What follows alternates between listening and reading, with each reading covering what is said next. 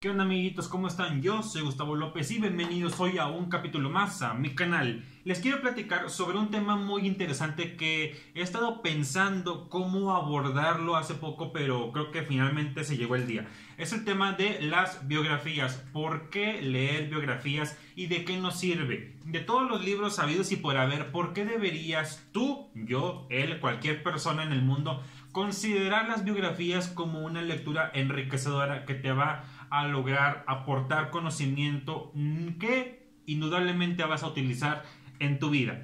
Entonces, el asunto es este. Hay cuatro razones principales y cada una de esas razones tiene pues como sus subrazones o sus subdivisiones y el asunto es así, muy simple. Primero, las biografías te dan inspiración. ¿Entiendes? ¿Cuántos a ver, ¿a cuántos no nos gusta la típica historia de él comenzó su negocio en la cochera, lo comenzó en la calle, al principio nadie da un dólar por él y mira hoy es un empresario, es súper, súper, súper reconocido, es millonario. ¿A cuántos no nos inspira esa historia de decir, ok, pues la verdad, todavía yo tengo unas condiciones más favorables que las que él tuvo cuando comenzó y si él pudo, yo también lo puedo hacer? Vamos a ser sinceros nos emociona mucho cuando alguien se hace, mm, pues, famoso, reconocido, millonario, con muy, muy poquito. Entonces, para empezar, nos da inspiración. Si alguien pobre, si alguien sin ningún tipo de capacidad, este, lo pudo lograr hacer, quiere decir que tú también. O sea, no hay pretextos, no hay excusas. ¿Sí?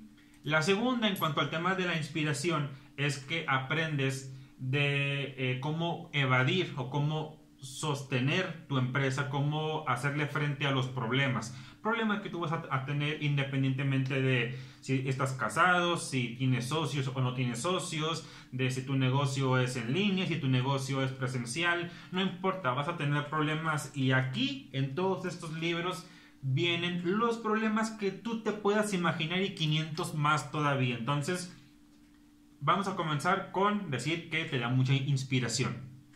Segundo, aprendes de los errores de los demás. Lo que tal vez hizo Steve Jobs, aquí es lo que tal vez hizo Steve Jobs o Emilia Escárraga, que no era lo más adecuado que les hizo perder dinero, si tú logras aprender, recordar y buscar una manera alterna, puedes no cometer los mismos errores que ellos o incluso cuando tú ya los cometas, tal vez pueda ser un poco más fácil o sencillo salir de esos problemas. ¿Qué más tenemos por aquí? Lo tengo apuntado porque si no, pues se me va el avión. Ah, siguiente. Entiendes, esa ya la tercera, entiendes cómo es el proceso real de crear una empresa o un proyecto. Un proyecto ya sea llevarle comida a los pobres, luchar por los derechos de las mujeres, de las personas de color, de las personas sin color, de, lo, de la comunidad LGBT, de llevar la paz mundial. O sea, el proyecto que tú quieras. No tiene que ser nada más comenzar una empresa donde tú tengas un producto y se lo vendas a alguien más. Es comenzar un proyecto. Algo tan simple como luchar por los derechos de las personas. Entiendes el sacrificio lo que expones y lo que puedes recibir a cambio, pero sobre todo lo que significa sacrificarte por los demás, lo que significa sacrificarte por tus sueños.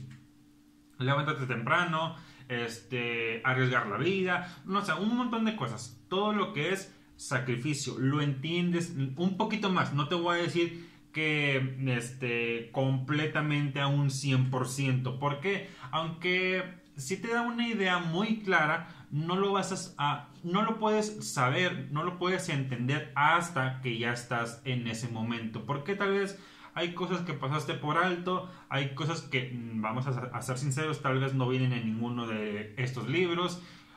Cada caso es especial y no te vas a dar cuenta de eso completamente hasta que no lo haces.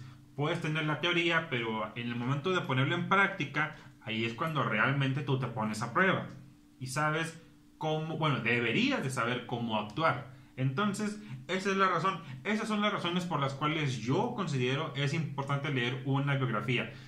Inspiración, aprendes de los errores de los demás y entiendes realmente cómo es el proceso. Bueno, no realmente, eso está mal dicho. Entiendes los aspectos básicos de cómo crear o desarrollar un proyecto.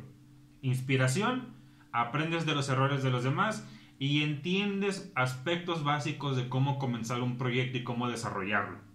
Con eso, yo te dejo algunas recomendaciones de los libros que yo he podido leer. Bueno, estos tres todavía no los leo, pero estoy leyendo actualmente la biografía de El Tigre, Emilio Azcárraga y Su Imperio Televisa. Pero una de las biografías que yo más recomiendo y que a mí me súper, súper, súper encantaron una vez que yo las leí es obviamente la de Steve Jobs. Después de ahí nos vamos con la biografía de Elon Musk. Este es el mejor libro que yo leí en el 2017. Así, el mejor libro que yo leí en el 2017. No hay otro libro que ni tan siquiera se le acerque. Y por último, tal vez a muchos no les va a gustar, yo disfruté mucho leer la biografía de Donald Trump. Esto lo leí hace como unos tres años, antes de que tan siquiera eh, se supiera que él iba a, postularse como presidente. Quien lo quiera leer, pues bueno, quien no, tampoco es obligatorio. Es nada más mi opinión personal.